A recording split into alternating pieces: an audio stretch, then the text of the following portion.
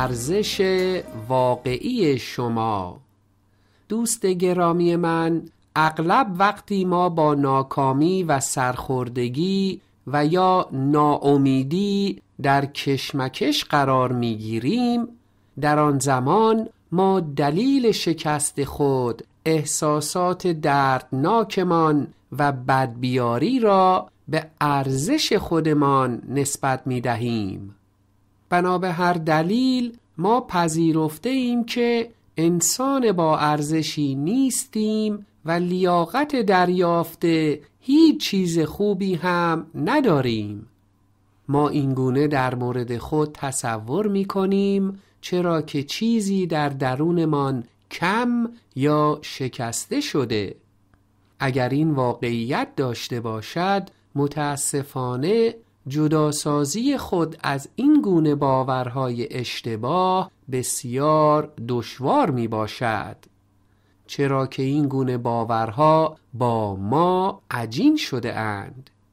اما دوست من اگر شما با احساس خود کمبینی و یا ناارزش بودن دست به گریبان هستید باید این حقیقت را بپذیرید که واقعیتی که شما در مورد خود تصور می کنید صحیح نیست. تنها کسی که به راستی ارزش شما را می شناسد و برای آن ارزش قائل است خداوند پدر آسمانی شماست.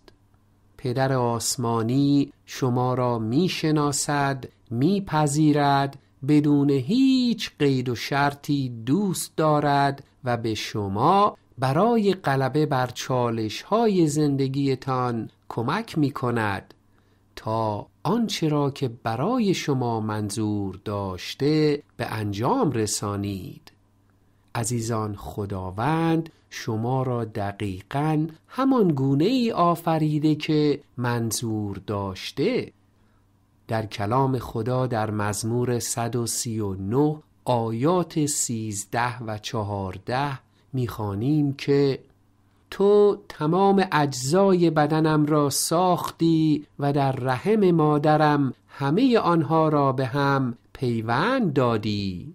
من تو را می ستایم زیرا مرا به گونه عجیب ساخته ای. تمام کارهای تو بسیار شگفتانگیز است. من این را با تمام وجود می‌دانم. آمین.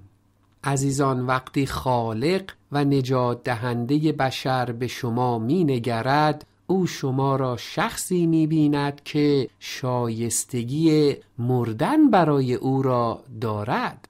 خالق و نجات دهنده شما نه تنها برای شما جان داد بلکه او بسیار مشتاق است تا شما با او در بهشت باشید تا ابدیت. بنابراین برای غلبه بر احساساتی چون یأس و ناامیدی یا ناقابل و بیارزش بودن شما باید سنجش خداوند نسبت به خود را بپذیرید.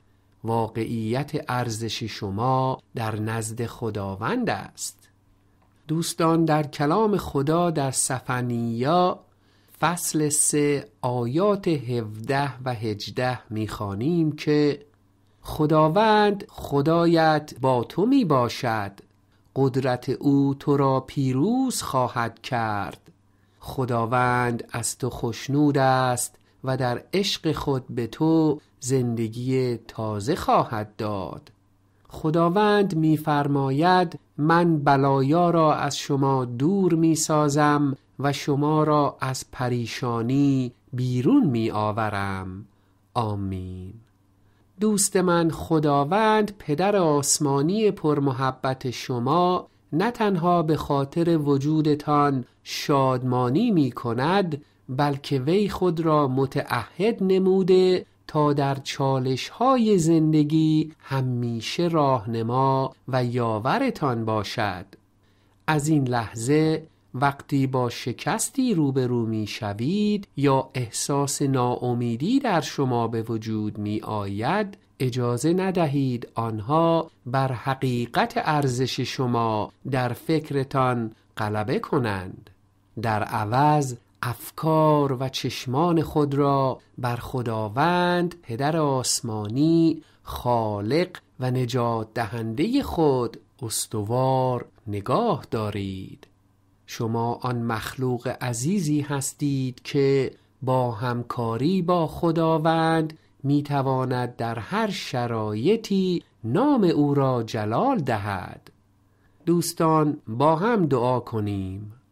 پدر آسمانی از تو می طلبم تا مرا از احساس بی ارزشی و نالایقی نجات دهی. از تو سپاس گذارم که مرا دوست داری مرا باز خرید نموده ای و از من محافظت می کنی به من کمک کن تا در اراده تو برای جلال نامت زندگی کنم. در نام عیسی مسیح. آمین.